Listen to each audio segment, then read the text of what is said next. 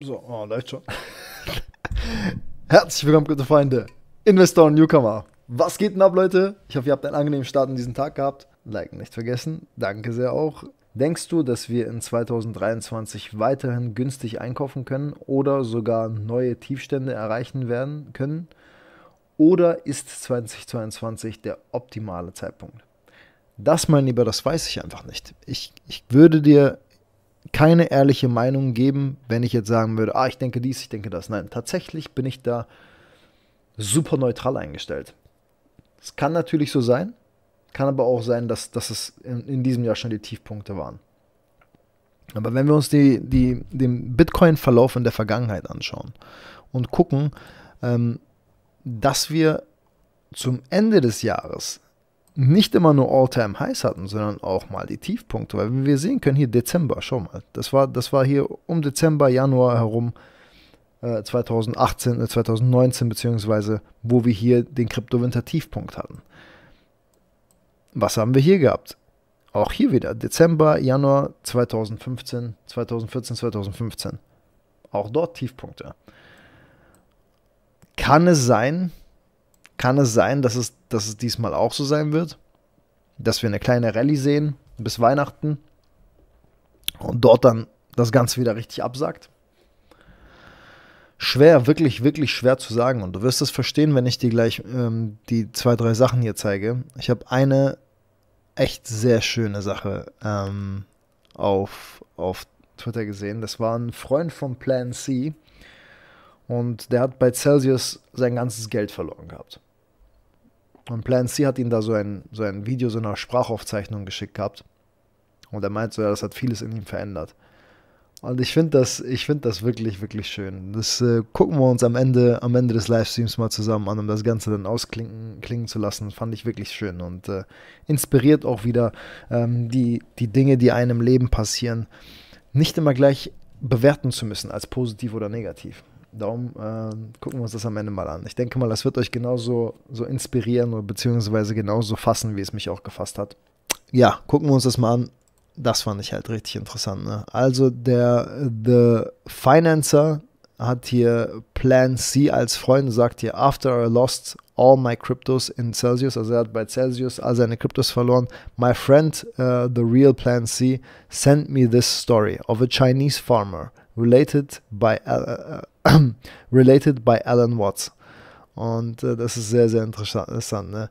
Äh, nimmt die 90 Minuten, guckt sich das an. Also nachdem er sein Geld verloren hat bei Celsius, hat ihm Plan C diese Geschichte von einem chinesischen Bauern geschickt, ähm, der äh, related äh, von, von Alan, Alan, Watts ist. Ich glaube, Alan Watts hat das erzählt oder sowas. Und es geht 90 Minuten. Hören wir uns das mal an. Ich übersetze euch das. Das ist sehr, sehr interessant. Once upon a time, there was a Chinese farmer who uh, lost a horse. Also es gab einmal einen chinesischen Bauern und er hat ein Pferd verloren. Also ist sie weggelaufen. Ran away. And all the neighbors came around that evening and said that's too bad. Und alle Nachbarn kamen an dem Tag und haben ihm gesagt, Mensch, das, das, ist, ja, das ist ja schlimm. Said, und er sagte nur, Vielleicht. The next day the horse came back and brought seven wild horses with it. And all the neighbors came around and said, "Why that's great, isn't it?" Und am nächsten Tag kam sein Pferd wieder zurück und hat sieben wilde Pferde mit sich mitgebracht. Und da kamen die Nachbarn und haben wieder gesagt, wow, das ist ja, das ist ja toll, oder?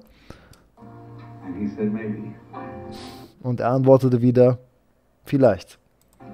The next day, his son was attempting to tame one of these horses and was riding it and was thrown and broke his leg.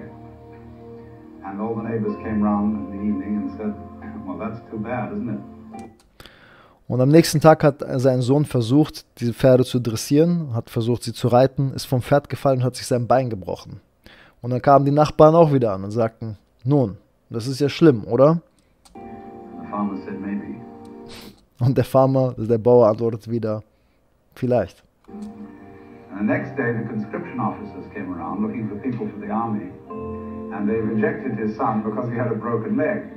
And all the neighbors came around that evening and said, isn't that wonderful? Und ähm, Tag darauf kamen Leute vom Militär und äh, wollten ähm, die jungen Leute zum Militär einschreiben, damit die zum, zum, zum Bund gehen.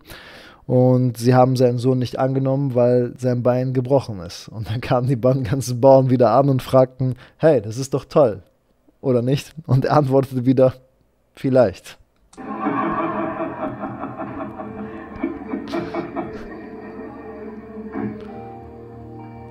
This, in a way, in a certain sense, reflects a fundamentally Taoistic attitude. Das reflektiert äh, im Fundament einen, einen taoistischen ähm, äh, Attitude, halt, ne? eine tao taoistische Einstellung. Which is that the whole process of nature is an integrated process of immense complexity. Das, das beruht darauf, dass die, die ähm, das, was in der Natur passiert, höchst komplexe ähm, Ereignisse sind. And it is really impossible to tell whether anything that happens in it is good or bad. Und dass es sehr, sehr schwer ist einzuschätzen, ob egal was passiert, gut oder schlecht ist.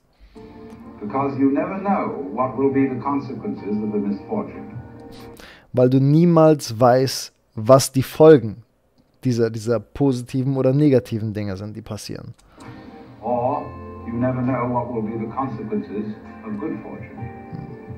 Darum, Leute, versuchen wir nicht immer alles, alles einzuordnen in gut und schlecht, denn wir wissen nicht, was die Folgen sein werden. Aus anfänglich guten Dingen, die einem passiert, können wirklich schlechte Dinge folgen. Ne?